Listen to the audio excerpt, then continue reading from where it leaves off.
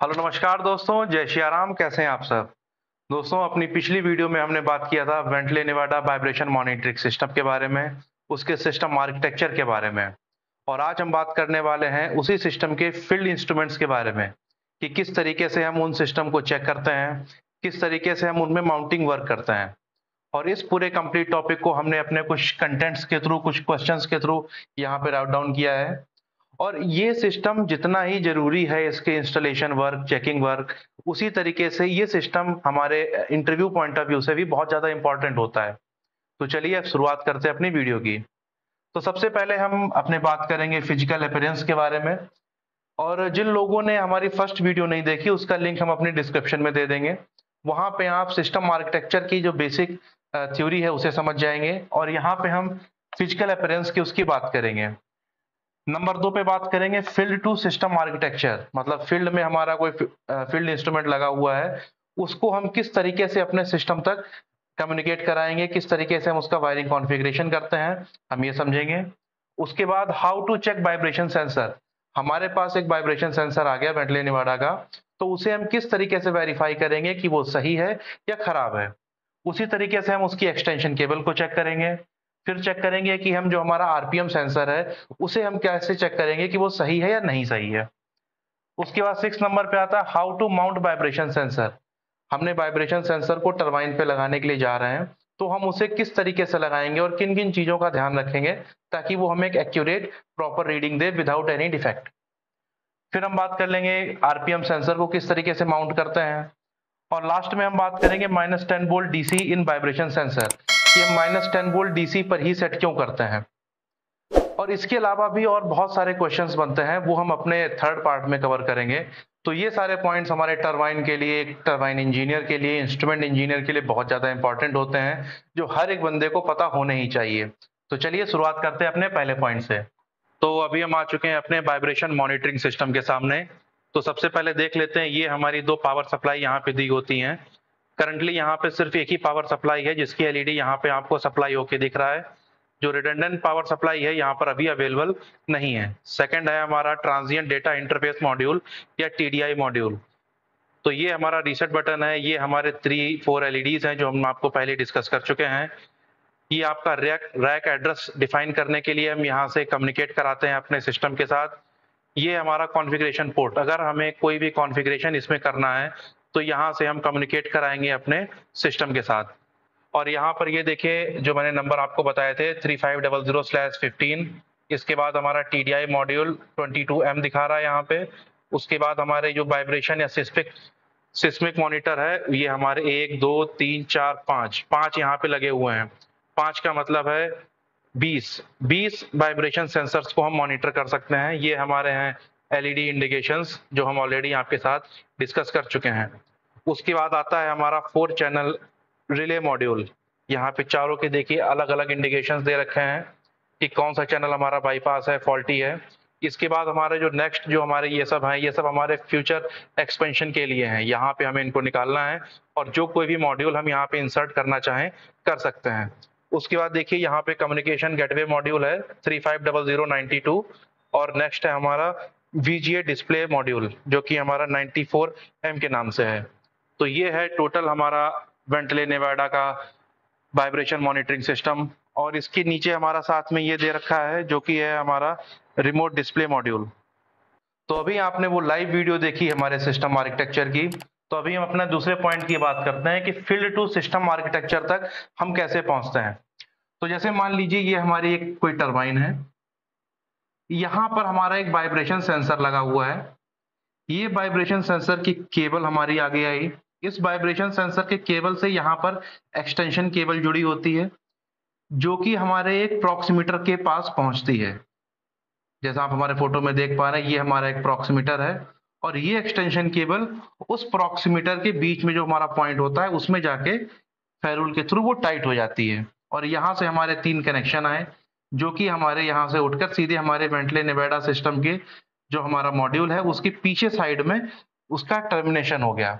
तो इस तरीके से हमारे टर्बाइन से वाइब्रेशन सबसे पहले हमारा वाइब्रेशन ट्रांसमीटर हो गया, फिर ये हमारी एक्सटेंशन केबल हो गई।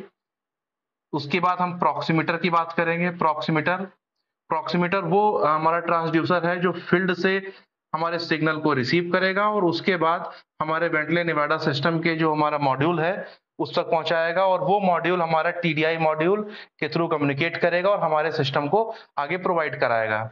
सेम यही प्रोसीजर हमारा आरपीएम सेंसर के लिए भी रहता है। तो अभी हम बात कर लेते हैं how to check vibration sensor vibration sensor को हम किस तरीके से चेक करते हैं, ये हम लाइव देखते हैं। तो अभी हम पहुँच चुके हैं अपने वाइब्रेशन प्रोब को क्रॉस चेक करने के लिए कि किस तरीके से हम वाइब्रेशन प्रोब को क्रॉस चेक करते हैं। तो देखिए, ये होती है हमारी सेंसर टिप और ये, हमारा जो सेंसर टिप है, ये पॉली ईथर ईथर कीटोन का होता है। और ये बहुत ही सेंसिटिव होता है। और ये हमारा जो सेंसर होता है, वो प्रॉक्सिमिटी प्रिंसिपल बेस पे होता है। इस प्रिंसिपल को डिटेल में हम बाद में समझेंगे। पहले ये देख लेते हैं कि अगर हमें ये चेक करना हो कि ये सेंसर हमारा हेल्दी है या नहीं है, ये किस तरीके से चेक करते हैं।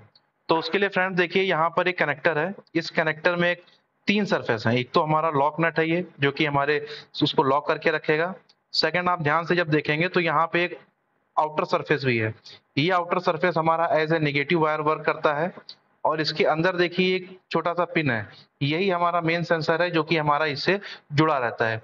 तो इसको चेक करने के लिए हम इसकी रेजिस्टेंस टेस्ट करते हैं। इसके लिए क्या करेंगे, हम अपना मल्टीमीटर ले लेंगे। मल्टीमीटर से एक सबसे अंदर वाले वायर को टच करेंगे। एक वायर से, एक प्रोब से, और दूसरे वाले से आउटर सरफेस में हम चेक करेंगे। और फिर देखेंगे मल्टीमीटर में कितना मिल रहा है। मल्टीमीटर में अगर हमें फाइव टू एट ओम के अंदर मिल रहा है तो इसका मतलब हमारा सेंसर जो है, वो ओके कंडीशन में है। इसको हम यूज़ कर सकते हैं। तो ये प्रोसीजर थी हमारी वाइब्रेशन सेंसर को चेक करने की। वाइब्रेशन सेंसर को चेक करने के लिए हम फाइव टू नाइन ओम का रेजिस्टेंस चेक करते हैं। और जब हम एक्सटेंशन केबल को चेक करते हैं, एक्सटेंशन केबल को भी दोस्तों हम आपको लाइव चेक कराते हैं, बट क्या है ना, हमारी एक्सटेंशन केबल जो है, वो फ़ील्ड में हमारी ड्रेसिंग के साथ लगी हुई है, इसलिए हम वहाँ पे आपको चेक नहीं करा पाए। सिंपल है, हमारा जो एक्सटेंशन केबल है, उसके दोनों सिरों का जब हम रजिस्टेंस चेक करेंगे तो वो हमारा फाइव टू ट्वेंटी ओम के बीच में आना चाहिए। अगर ये रजिस्टेंस हमें एक्सटेंशन केबल का मिल रहा है तो इसका मतलब हमारी एक्सटेंशन केबल भी ओके है। उसके बाद हम बात कर लेते हैं how to check RPM sensor RPM sensor को किस तरीके से चेक करेंगे, ये भी हम अपनी लाइव वीडियो में देख सकते हैं। तो अभी हम ये समझ लेते हैं कि हमारा जो आरपीएम सेंसर होता है, उसको हम किस तरीके से टेस्ट करते हैं। तो आरपीएम सेंसर को भी टेस्ट करने का सेम यही तरीका होता है। इसमें देखिए, यहाँ पर दो हमारे कनेक्टर दे रखे हैं। इन दोनों से हम इसका रेजिस्टेंस टेस्ट करेंगे और वो रेजिस्टेंस हमारा डेढ़ सौ से 200 ओम के बीच में आना चाहिए। वैसे अगर स्टैंडर्ड की बात की जाए तो हमारा ये 5 ओम से 500 ओम तक वेरी कर सकता है company to company but mostly हमने देखा है कि 150 टू 200 के बीच में हमें इसका रेजिस्टेंस मिल जाता है। तो आइए चेक कर लेते हैं कि इसका रेजिस्टेंस हम किस तरीके से चेक करेंगे।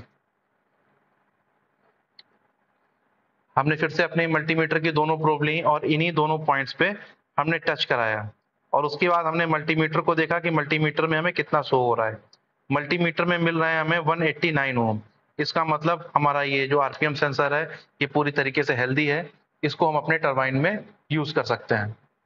तो फ्रेंड्स अभी हमने देखा कि हम आरपीएम सेंसर को किस तरीके से चेक करते हैं। इसके साथ साथ हम ये भी समझ लेते हैं कि वाइब्रेशन सेंसर और आरपीएम सेंसर का प्रिंसिपल क्या होता है। जो हमारा वाइब्रेशन सेंसर होता है, वो हमारा एडी करंट प्रिंसिपल पे काम करता है। और जो हमारा आरपीएम सेंसर या जिसे हम मैग्नेटिक पिकअप सेंसर भी बोलते हैं, ये हमारा वेरिएबल रिलेक्टेंस प्रिंसिपल पे काम करता है। जो कि हमारे एक फेराडेस का एक नियम ही है फेराडेस लॉ के अंतर्गत ही आता है। बट अगर हम उसे बोलेंगे Faraday's law of variable reluctance इस पर हमारा आरपीएम सेंसर वर्क करता है। अब हम बात कर लेते हैं how to mount vibration sensor vibration sensor को हम किस तरीके से माउंट करेंगे?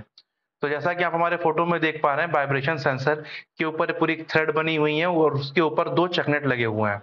तो इन चकनेट को जो हमारा टर्बाइन का जो अप्रोप्रिएट लोकेशन है, वहाँ पे हम इसे माउंट करते हैं और उसके बाद जो हमारा प्रोक्सीमीटर होता है, जो कि हमारे फ़ोटो में देख ही पा रहे हैं, वहाँ पे जो हमारा कॉमन और नेगेटिव वाली वोल्टेज जो दे रखी है कॉमन या आउट वाला जो पॉइंट दे रखा है, वहाँ पे हम अपना मल्टीमीटर लगाएँगे। और हम ये देखना स्टार्ट करेंगे कि वाइब्रेशन सेंसर को हमें माइनस टेन वोल्ट पे सेट करना है। और इस माइनस टेन वोल्ट को हम बोलते हैं गैप वोल्टेज गैप वोल्टेज अगर हम माइनस टेन वोल्ट सेट कर देते हैं तो हमारा उस समय वाइब्रेशन ज़ीरो दिखाना चाहिए। और इसके लिए मान लीजिए हम जब अपना सेंसर को टाइट करना स्टार्ट करेंगे, मान लीजिए हमारा अभी वो 9 पॉइंट में दिखा रहा है 9.5 और इसे हमें में आगे बढ़ाना है। तो उसके लिए हम इसे क्लॉकवाइज डायरेक्शन में घुमाएँगे। इसी तरीके से क्लॉकवाइज एंटी क्लॉकवाइज डायरेक्शन में घुमाकर हमें फाइनली मल्टीमीटर में minus ten volt DC set कर देना है। और मल्टीमीटर के जो पॉइंट्स होंगे, वो कॉमन और आउट पॉइंट पे लगाए जाएँगे। इसका दोस्तों ध्यान रखिएगा। इसके बाद हम बात कर लेते हैं how to mount RPM sensor RPM sensor को हम किस तरीके से माउंट करेंगे?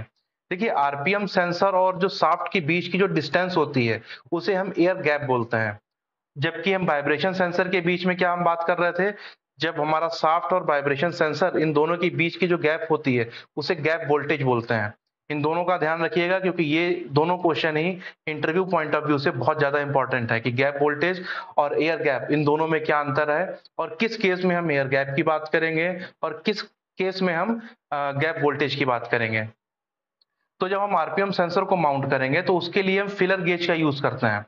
जैसा कि आप हमारे फ़ोटो में देख पा रहे हैं फिलर गेज हमारे एसएस की कुछ स्ट्रिप्स होती हैं, जो कि डिफरेंट डिफरेंट साइज़ की होती हैं, जैसे point eight point five point nine one point five तो बेसिकली जो हम अपना आरपीएम सेंसर माउंट करते हैं different different company different different turbine के according point five to one point five इसका सेट करते हैं। और मोस्टली अगर मान लीजिए आपके पास कोई कैटलॉग नहीं है तो हम उस सेंसर को पॉइंट एट या पॉइंट नाइन पे सेट कर सकते हैं।